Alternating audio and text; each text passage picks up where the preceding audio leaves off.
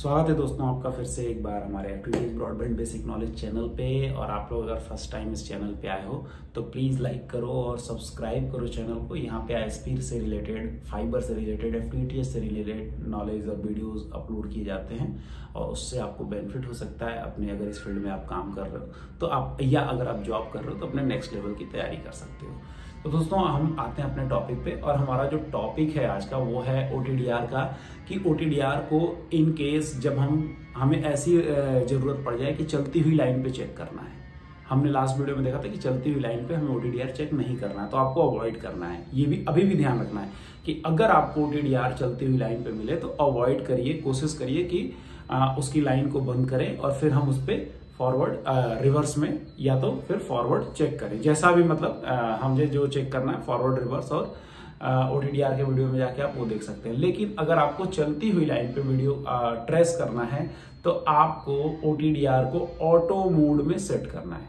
अगर आपको O T auto mode में है तो आप चलती हुई लाइन पे ट्रेस कर सकते हैं और उसमें आपके रिज़ल्ट भी आएँगे।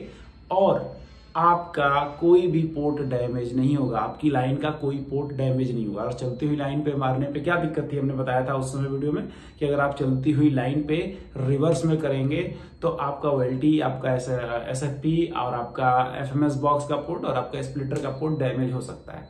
और ऐसे ही अगर आप फॉरवर्ड में भी मार सकते हैं तो फॉरवर्ड में जब नो पावर का इशू होगा तो आप मारने के लिए फ्री रहते हैं तो उसमें आपका एन तक हम चेक कर लेते हैं। लेकिन अगर आपको ऑटो मोड पे सेट करके करोगे, चलती हुई लाइन पे तो कोई दिक्कत नहीं। जैसे आप कस्टमर के घर पे कस्टमर अलाउ ही नहीं कर रहा आपको कि नहीं, अभी तो मैं हूँ नहीं, या मैं बाहर हूँ और आपको चेक करना है उस लाइन को।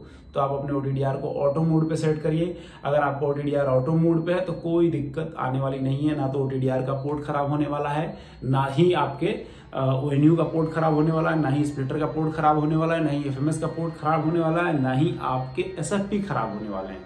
ऑटो मोड पे। अगर आपका ओटीडीआर के अंदर ऑटो मोड की सेटिंग नहीं है, ऐसे मोस्टली ओटीडीआर में ऑटो मोड की सेटिंग होती है तो आप ऑटो मोड में करिए और चेक करिए।